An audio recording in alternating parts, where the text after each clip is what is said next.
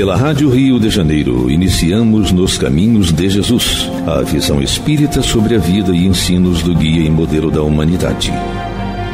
Produção e apresentação, Paulo Guedes. Olá, ouvintes. Eu sou Paulo Guedes. Estamos dando início a mais um programa Nos Caminhos de Jesus.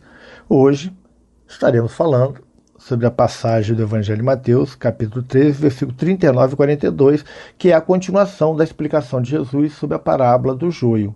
Então, nós vamos aqui terminar essa parábola. Na semana passada, nós vimos que Jesus disse que quem semeia é o filho do homem, que o campo é o mundo, que os filhos do reino, as sementes são os filhos do reino, e que o joio é o filho do maligno. Foram colocações do Cristo. Hoje ele diz o seguinte: o inimigo que semeou é o diabo.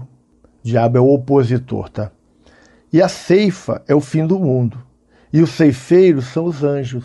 Assim como o joio é colhido e queimado no fogo, assim será na consumação deste mundo. Mandará o Filho do Homem os seus anjos, e eles colherão do seu reino tudo o que causa escândalo e os e os que cometem iniquidade. E lançá-los-ão na fornalha de fogo, ali haverá pranto e ranger de dentes. Então, aqui Jesus está dando o arremate final da explicação dessa parábola. É uma parábola muito interessante, muito bacana. As parábolas são todas elas né, muito boas. E é importante a gente estudar essas parábolas para que a gente possa realmente entender aquilo que Jesus quis falar. E aí vamos lá, por parte. O inimigo que semeou é o diabo. Alguns acreditam que as escrituras reconhecem a existência de um diabo pessoal, que é um ser real e que não se utiliza dessa palavra como um mero símbolo de maldade personificada. A gente sabe que algumas outras denominações do cristianismo, as pessoas acreditam no, no, no diabo como um ser personalizado, né? num, num um ser real, e não a personalização de todo aquele que se opõe ao Evangelho, todo aquele que se opõe às leis divinas. Essa parábola reconhece o grande e autêntico poder desses seres espirituais, não desse ser, desses seres, de todos aqueles que são oposição. Notemos que a explicação da palavra feita por Jesus nada tem de complicado, dando somente as ideias principais, não mencionando, por exemplo, coisa nenhuma sobre os detalhes da parábola, com o sentido de enquanto os homens dormiam, ou o sentido dos servos. Jesus explica só o que é importante. Os detalhes ele deixa para lá. Aquilo que é, que, que é complemento para o entendimento de, de, de para dar uma, uma lógica para a história, ele deixou para lá. Ele quer os pontos principais. É perfeitamente possível que Jesus não tenha querido indicar nada de especial com essas palavras, mas tão somente apresentar uma história coerente, com detalhes suficientes para atrair o interesse dos ouvintes.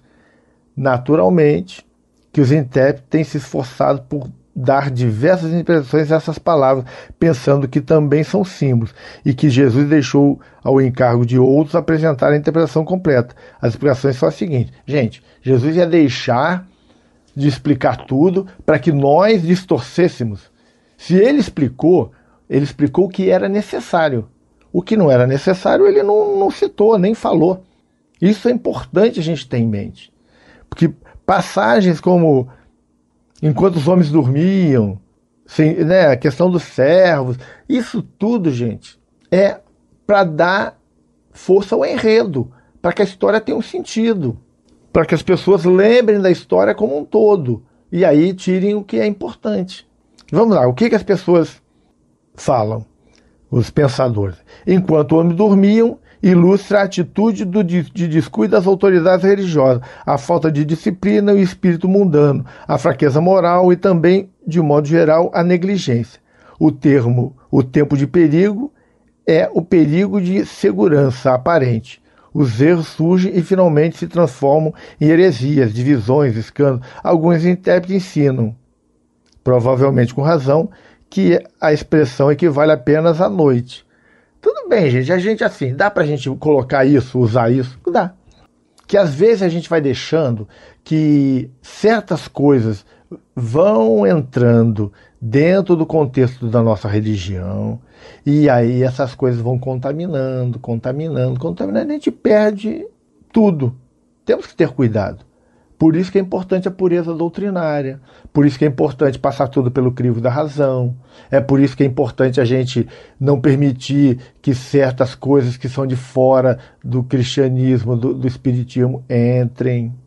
Como a gente vê o, a, o, os espiritualistas trazendo tudo que é orientalismo para dentro do espiritismo. A gente tem que ter muito cuidado com isso. Os servos devem ser naturalmente símbolos dos ministros do evangelho ou talvez de qualquer pessoa que seja verdadeiro discípulo do reino dos céus. São aqueles que têm interesse pelo crescimento e desenvolvimento da semente no campo. Alguns expositores pensam que provavelmente Jesus quis indicar a negligência desses servos, porquanto estavam entre os que dormiam quando o inimigo semeou o joio. Todavia, essas interpretações exageram o que Jesus realmente quis ensinar por meio dessa palavra, e esses detalhes só foram fornecidos para formar uma história interessante e completa. Claro, a gente não pode esquecer da questão do levar para dentro do, da religião as coisas erradas. E que os servos são aqueles que estão servindo a religião, estão servindo ao Cristo, estão servindo a Deus. São as pessoas que propagam o evangelho. Porque assim, se não tiver quem propague, vai morrer. Qualquer ideia que fica guardada sem que seja propagada, ela vai se deixar de existir. O evangelho não é para ficar no, no, na Bíblia, escrito. Ela precisa ser propagada, ela precisa ser ensinada. O evangelho precisa ser ensinado, propagado. Ele precisa ser mostrado ao mundo. Então, muitas vezes, nós como oradores espíritas, nós como estamos aqui no programa, a Rádio Janeiro tem várias pessoas falando, nós temos que ter responsabilidade sobre aquilo que estamos falando. Porque quando a gente começa a passar em verdades, achismo, uma coisa que me preocupa muito é o achismo. Tem muitas pessoas que não sabem alguma coisa e falam o que acham. Não tem a responsabilidade de dizer assim: não sei, vou pesquisar, depois eu trago a informação. Simplesmente fala o que vem na cabeça. E aí começam muitas vezes a colocar achismos.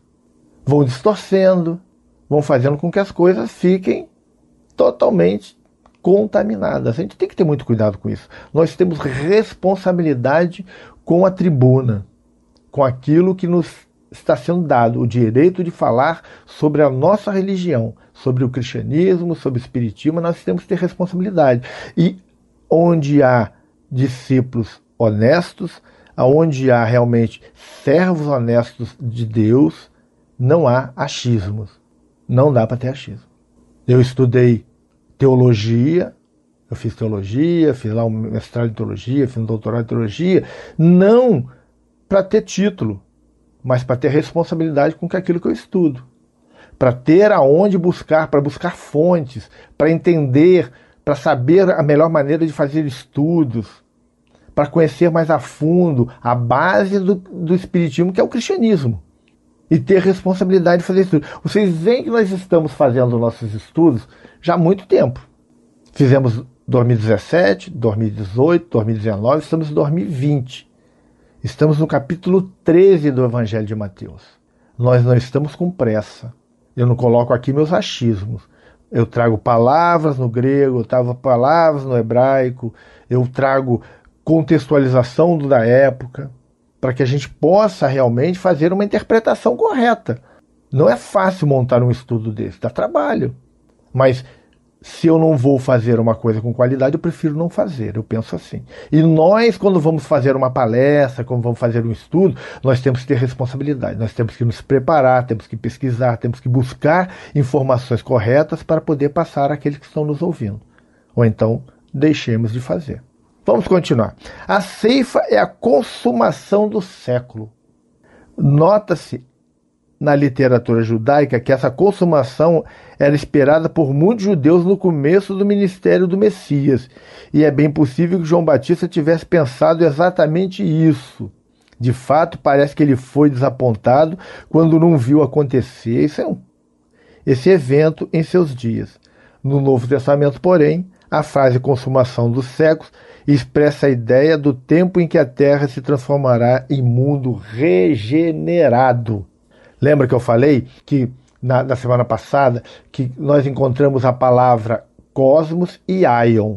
Cosmos é fim da Terra física, da humanidade como um todo, e aion, fim de um período, de um ciclo Jesus, quando fala em final do, do, do, da consumação do século, final dos tempos, ele usa a palavra aion. Ele fala, ele usa o termo que significa o fim de uma era. Nós estamos na era de expiação e prova e vamos entrar na era de regeneração. É isso que o Cristo está nos falando. É isso que é o estudo com responsabilidade, buscando a origem das palavras, entendendo. Não é dizer por dizer, não, não é. Mas a gente tem que ter fundamentação, a gente tem que ter alguma coisa que possa nos dar a certeza de que aquilo que estamos falando realmente é o que está de acordo com o que o Cristo disse. Isso é importante para todos nós.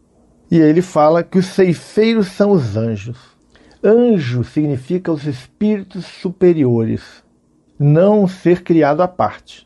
A gente tem que ter cuidado também com isso. Anjo aqui não é um, um ser criado puro por Deus, não. O anjo são os espíritos superiores. O Novo Testamento dá muita importância ao ministério dos anjos, os espíritos superiores, quer para benefício dos verdadeiros discípulos, quer para a classificação mencionada aqui, imediatamente antes do julgamento. Outros, outras referências subentendem a presença dos anjos no julgamento dos homens, porque, conforme está em Mateus capítulo 25, versículo 31, porque assim, os espíritos superiores é que nos avaliam, que sabem quem somos, as profecias de Daniel mencionam o mesmo ministério angelical, Daniel capítulo 7, versículo de 9 a 10. A importância dos espíritos superiores. E no livro, é no livro de Daniel também que Miguel, o grande príncipe entre os anjos, estará presente na ressurreição dos homens. E certamente ele ocupará algum tipo de ministério quando esse acontecimento.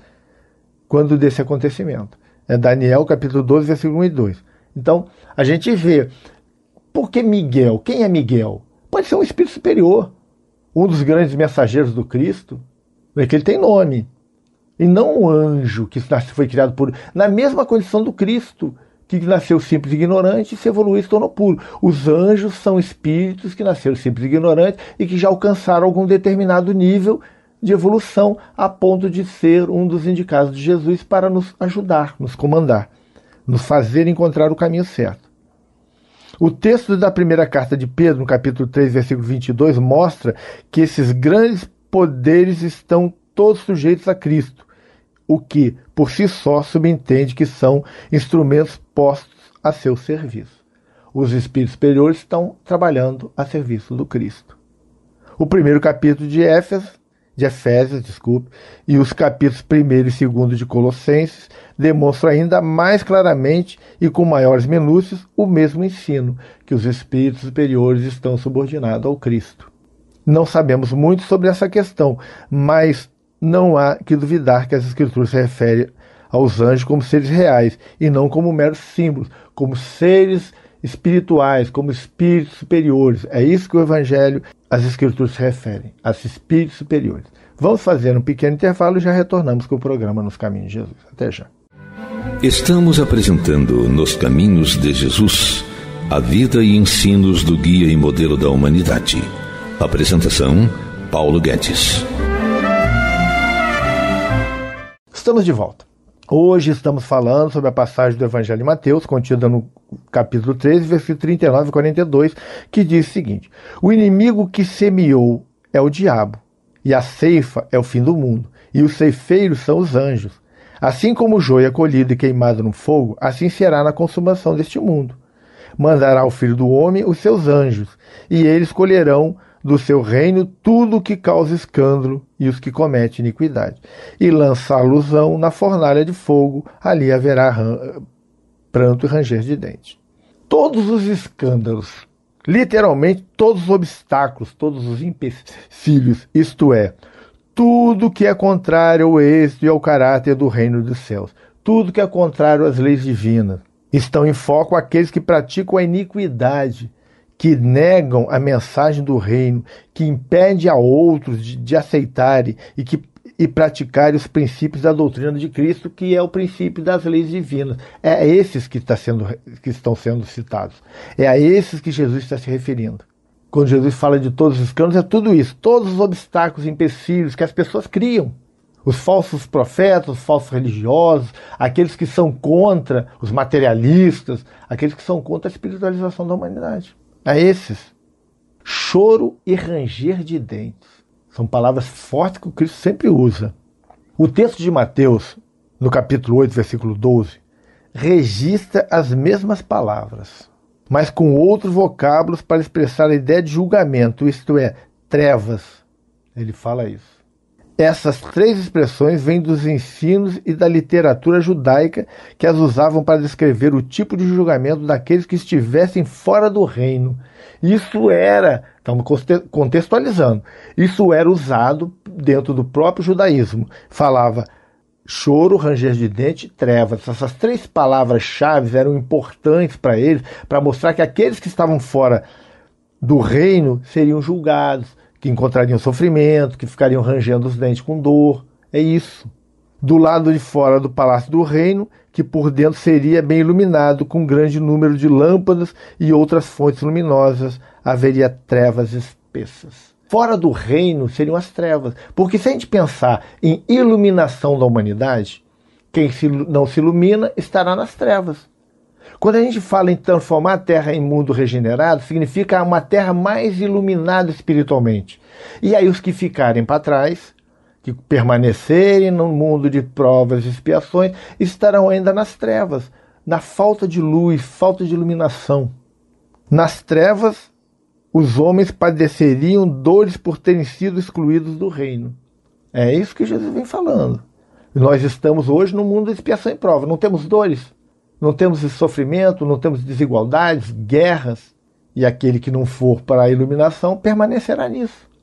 Não, tá, não vai ser colocado para sofrer.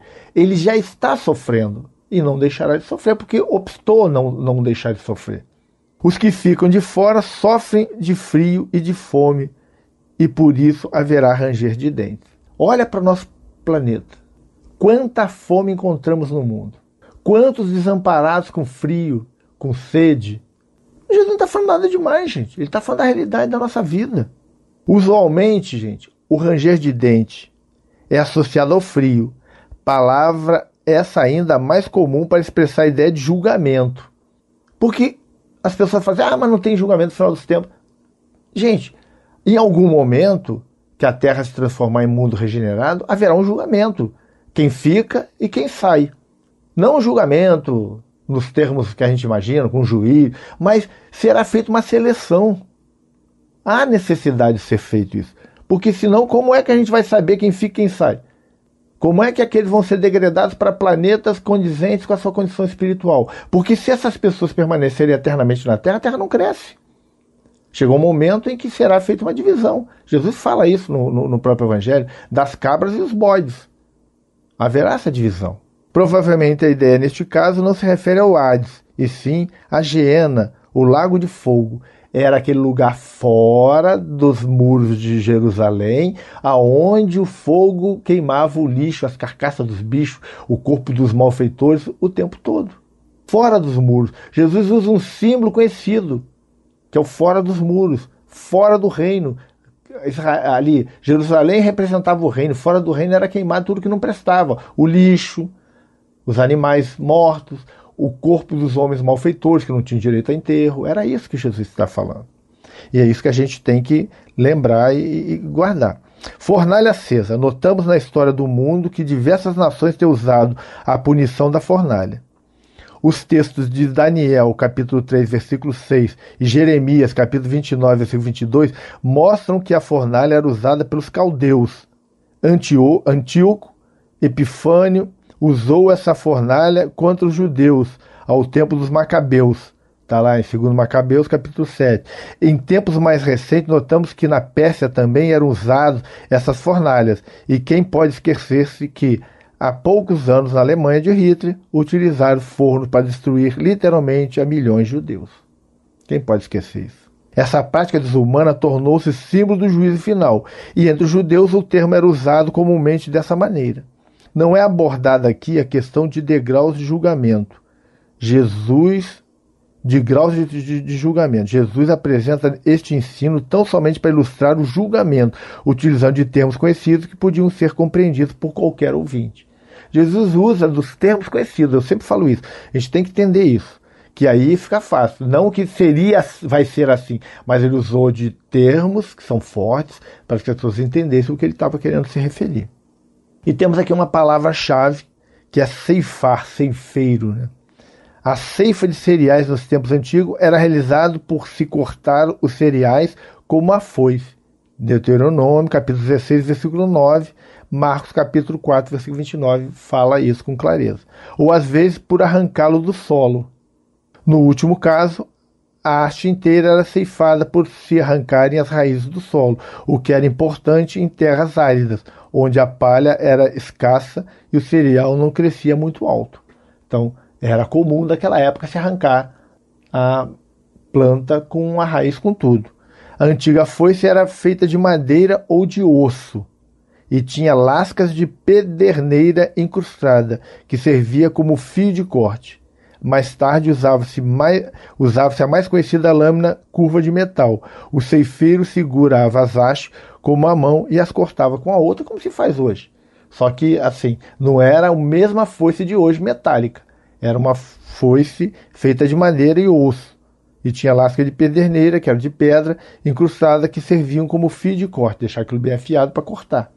Depois, com, com o advento do metal, de tudo isso, com, com o aprimoramento, se fez as, as, as, as foices de, de, de aço. Palavra, o, o ceifar é muitas vezes usado em sentido figurado nas escrituras para ilustrar o resultado final das obras da pessoa, quer boas, quer mais. O princípio divino é que o que o homem semear, isso também ceifará. Paulo mostrou que, ao passo que aquele que semeia visando a carne, ceifa disso a corrupção. Aquele que ceifa visando a carne visando as coisas materiais. Aquele que semeia visando o espírito, ceifará o espírito da vida eterna. E assegurou aos cristãos gálatas que eles ceifariam se não, for, se não desfalecessem, tivessem força, não desanimassem. É Galas capítulo 6, versículo de 7 a 9, tem Provérbio 22, versículo 8, e Oséias, Oséias capítulo 8, versículo de 1 a 7. Exortando a generosidade cristã para com os necessitados, com crentes na Judéia, o apóstolo disse aos coríntios: Quem semear parcimoniosamente, se fará também parcimoniosamente. E quem semear generosamente, se fará também generosamente. Segundo a Carta Coríntios, versículo, capítulo 9, versículo 5 7. Jesus Cristo enviou seus discípulos a ceifar, subentendendo-se que eles deveriam ajuntar aqueles que, se, que reagissem favoravelmente como seus discípulos. Está em João, capítulo 4, versículo 35 a 38. Segundo a ilustração de Jesus a respeito dos símbolos trigo e joio na determinação do sistema de coisas, o Filho do Homem envia seus cefeiros angélicos para reunir dentre o seu reino todas as coisas que causam tropeço e os que, e o que fazem o que é contra a lei. Esse joio, os filhos do Inico, né, os filhos dos, dos que são contra o evangelho, é lançado numa, figura, numa figurativa fornalha ardente, ao passo que o trigo, os filhos do reino, é preservado. E estes brilharão tão claramente como o sol no reino de seu Pai. Mateus capítulo 13, versículos 24 a 30, 36 a 43. Então, é isso que nós estamos aqui. Para terminar, a palavra-chave anjos. A palavra hebraica mal, maulak e a grega ágelos significa literalmente mensageiro. Quando se refere a mensageiros espirituais, elas são traduzidas anjo no Evangelho, conforme está em Gênesis, capítulo 16, versículo 7, capítulo 32, versículo 3, Tiago, capítulo 2, versículo 25, Apocalipse, capítulo 22, versículo 8. Os anjos são os espíritos superiores. Foram criados por Deus, simples e ignorantes, como todos nós. Eles também são chamados na Bíblia de santas miríades, filhos de Deus, estrelas da manhã, conforme a gente vê em Deuteronômio, capítulo 33, versículo 2, em Jó, capítulo 1, versículo 6, capítulo 38, versículo 7. Então, Malak e a palavra ágelos significa mensageiros, espíritos. É isso que a gente tem que ficar. Vamos ficando por aqui. Semana que vem estaremos mais uma vez reunidos com o programa Nos Caminhos de Jesus. Até lá, gente. A Rádio Rio de Janeiro apresentou Nos Caminhos de Jesus a visão espírita sobre o guia e modelo da humanidade. Produção e apresentação: Paulo Guedes.